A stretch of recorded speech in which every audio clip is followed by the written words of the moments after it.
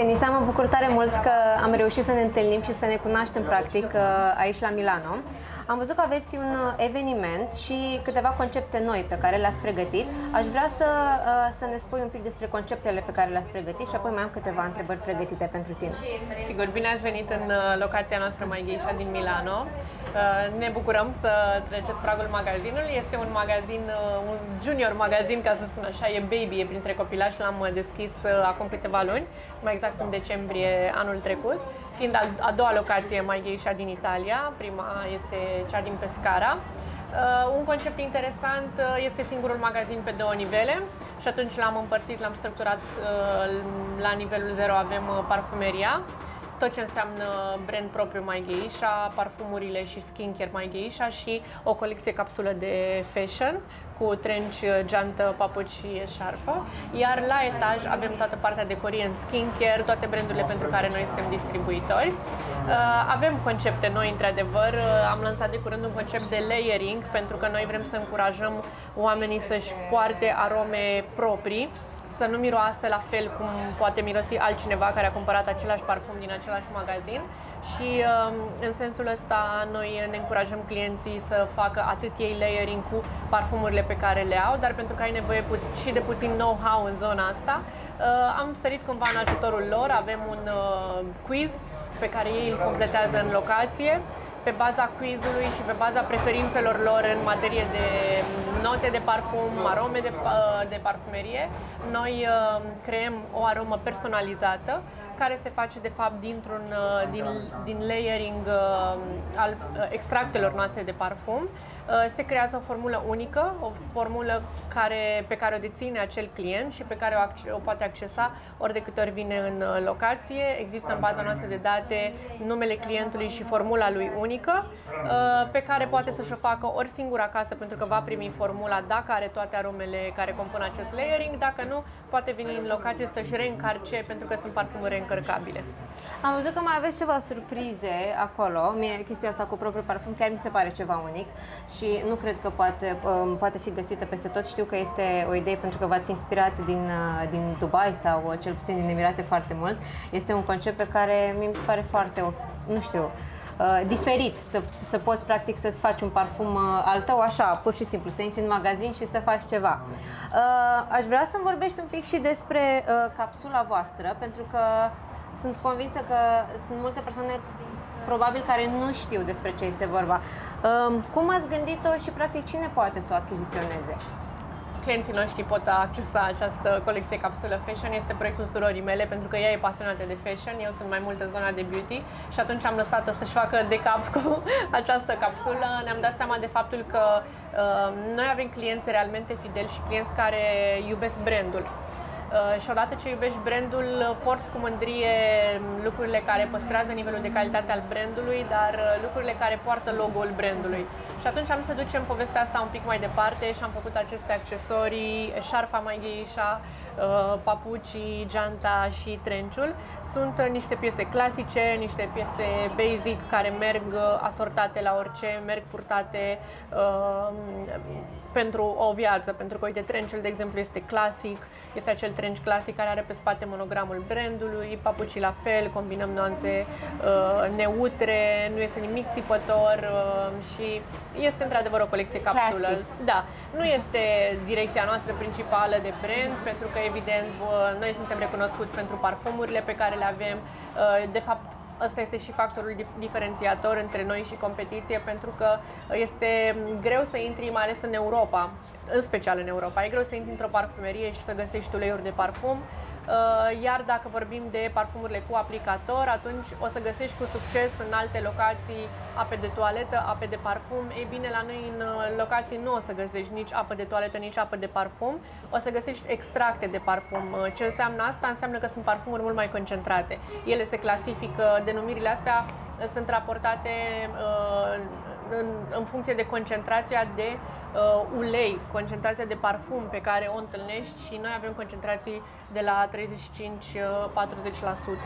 Asta înseamnă că în locațiile noastre găsești doar extracte de parfum și uleiuri de parfum. De asta My Geisha este un brand care are parfumuri atât de puternice și persistente. Asta este practic caracterul uh, brandului nostru. Sunteți diferiți, motiv pentru care uh, probabil că ăsta este unul din motivele pentru care ați crescut foarte mult. Uh, spune-mi un pic la nivel de francizare, la nivel internațional, cam câte magazine aveți deschise la uh, ora actuală? Acum avem 64 de locații în 16 țări and still counting. pentru, pentru cine practic crezi că este uh, businessul? Pentru uh, ce fel de persoane, ce fel de antreprenori uh, pot să ia franciza și sau cui recomanzi? Îți recunosc că până acum avem uh, francizate în um, cea mai mare parte femei. Avem uh, doar o singură excepție, dar acolo sunt soț soție, deci tot este o femeie implicată. Ehm, nu neapărat pentru că un business, cred că e un business care poate fi făcut cu succes și de un bărbat, pentru că în momentul în care ne ducem în spatele obiectului uh, tip, uh, tipului de business, este un business ca oricare altul și mecanismele din spatele unui business sunt cam aceleași. Uh, sau magazinele unui business tipic retail. Uh, dar um, uite că până acum uh, majoritatea sunt femei, sunt pasionate de beauty și uh, noi ca brand avem și un mesaj foarte puternic de woman empowerment și de um, a le da putere femeilor și de a le transmite mesajul că pot realiza lucruri.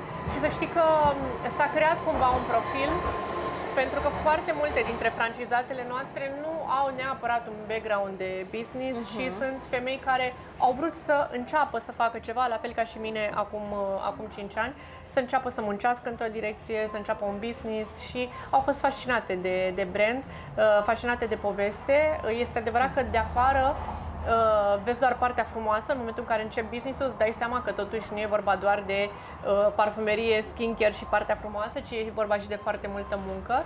În schimb, noi am, uh, am conturat mai multe direcții uh, ca și business, ca și canale de vânzare. Uh, avem atât partea de francize, și aici e foarte simplu pentru că e modelul de franciză și îți deschizi o locație mai ghișa în orașul tău sau în alte orașe pentru că avem și francizați care au mai multe locații. Evident au început cu una și apoi au dezvoltat. Uh, dar în același timp avem și canalul de distribuție pentru că um, brand, uh, brandul nostru este distribuit și în department store-uri și uh, în alte țări și în magazine retail de tip multibrand în care avem rafturile noastre sau gondole care, în care prezentăm conceptul. Avem și partea de online, partea de e-commerce și ne pregătim și pentru zona de travel retail, care este la fel foarte importantă. Uh, cum este viața Denisei acum la 60 plus, ai spus că de magazin în Europa, pentru că știu că povesteai la un moment dat că era destul de antrenant, să zic așa. Uh, cum e acum, când ai crescut, ai reușit să găsești așa o balanță, să reușești să le combini cumva, să ai timp și pentru tine, să te focusezi nu. și pe business? Nu, din păcate nu, o să fac o glumă și când ai spus că viața, cum e viața Denisei la 60 plus, de magazine, Zine. o să spun că gradul de oboseală e ca la 60 plus de ani.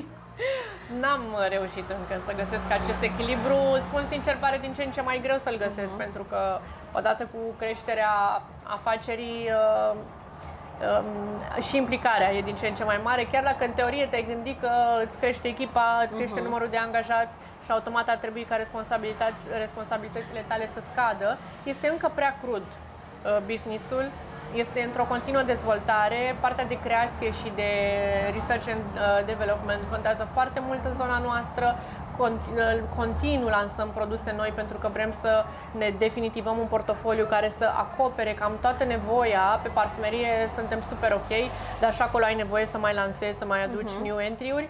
Uh, dar pe skincare încă mai avem de completat, avem cremă de ochi în lucru, avem SPF-uri în lucru, serumuri, zona de body care, de personal care, uh, cu un concept foarte interesant la care lucrăm. Deci avem mult, mult uh, și atunci cumva viața mea se profesională se împarte între a um, gestiona și a coordona ceea ce avem deja, partea de business, dar și partea de creație, unde aici trebuie să lucrăm, să dezvoltăm proiecte noi, produse noi, formule, campanii de marketing și absolut tot ce stă în spatele unui business. Uh, aș vrea să, uh, să mai îmi răspuns la o întrebare și anume, în momentul în care uh, vine o tânără antreprenoare sau nouă în domeniul antreprenoriatului și ia o franciză mai geisha, la ce ar trebui să se aștepte și ce primește de la voi, practic ca și suport, ca susținere? Practic ăsta este avantajul unei francize. Anume, franciza se mai numește și business la cheie. Practic tu asta primești pentru că uh, tu semnezi contractul de franciză, uh, nu trebuie să faci foarte mult la început, primești conceptul, primești uh, furnizorii de mobilier, uh, produsele, absolut tot. Uh, tu intri în joc în momentul în care trebuie să începi să-ți administrezi afacerea, să te ocupi de promovare și să urmărești toți KPI pe care noi îi urmărim. Dar apoi noi uh, venim cu traininguri constante pe produse, cu traininguri de vânzări, cu traininguri de dezvoltare, dar mm, este, cum să zic, este o muncă în echipă uh-huh. în care noi venim cu suport, uh, evident, tot ceea ce ține de noi, uh, partea de strategie, partea de campanii, comunicăm foarte des, avem întâlniri online săptămânale în care vorbim strategii, în care le povestim despre campaniile noi și toată această comunicare care e esențial să existe. Tot așa intern urmărim uh, cifrele locațiilor, mișcările și așa mai departe, uh, dar trebuie, trebuie implicare ca în orice business. Uh, pentru că nu este suficient să iei o franciză mai geisha și să fie de un succes răsunător, dacă nu există și din partea ta implicare și dorința de, de a face lucrurile să miște. Uh, rețeta de succes e aia în care și francizorul și francizatul își aduce aportul spre, uh, spre un succes comun pe care să le avem. Ai face ceva diferit în tot parcursul ăsta de 5 ani de zile de când ai început? Este ceva, uh, nu știu, ai, ai abordat ceva diferit în, în, în tot procesul practic? Nu, nu neapărat. Uh, pentru că, sigur, sunt, sunt, întotdeauna ne dăm seama de reconfigurări de traseu mhm. pe care trebuie să le facem. Dar sunt plăcute, adică nu aș, uh, nu mi-ar fi plăcut să știu de la început care Provocări. era drumul drept. Da.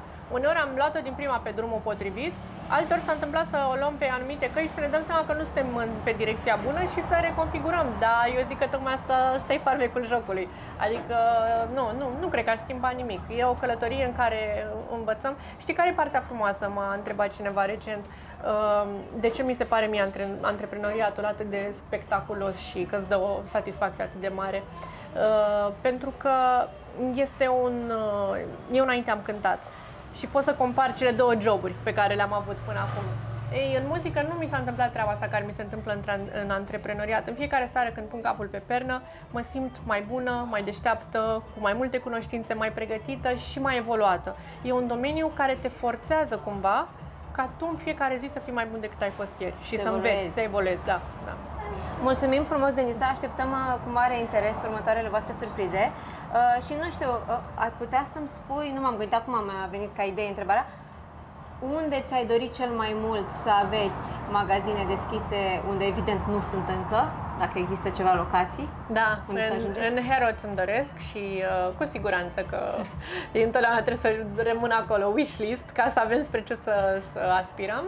Uh, și uh, îmi doresc uh, pe scurt să fie brandul internațional, să fie peste tot pe marile artere mari, unde sunt marile branduri ale lumii și ne îndreptăm spre, spre acest obiectiv.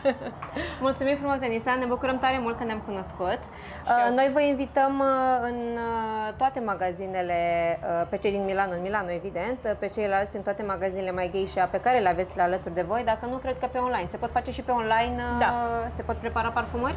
Pe, uh, Comenzi online mă refer? Uh, layering-ul se face doar prin intermediul locațiilor. Puteți accesa mygeisha.com pentru a plasa comenzi sau pentru a vedea toate locațiile noastre din toată lumea, pentru că știu că avem o diasporă mare uh-huh. și uh, noi am cam acoperit așa niște orașe esențiale din uh, Europa, așa că intrați pe, pe site pe mygeisha.com și vedeți acolo toate locațiile.